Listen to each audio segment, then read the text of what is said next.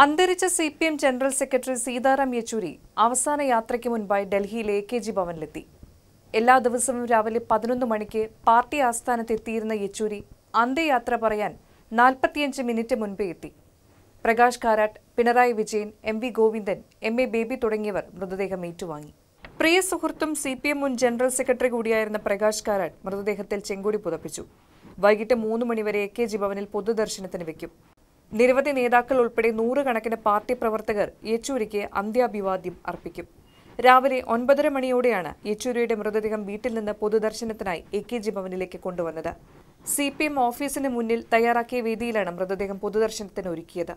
വീട്ടിൽ നിന്നും A K G ഭവനിലേക്കുള്ള യാത്രയിൽ മൃതദേഹത്തിനൊപ്പം ഭാര്യ സീമ ചസ്തി വൃന്ദ കാരാട്ട് ബിജു കൃഷ്ണൻ തുടങ്ങിയ നേതാക്കളും ആംബുലൻസിലുണ്ടായിരുന്നു വൈകിട്ട് അഞ്ചിന് പതിനാല് അശോക റോഡ് വരെ വിലാപയാത്രയായി നീങ്ങും.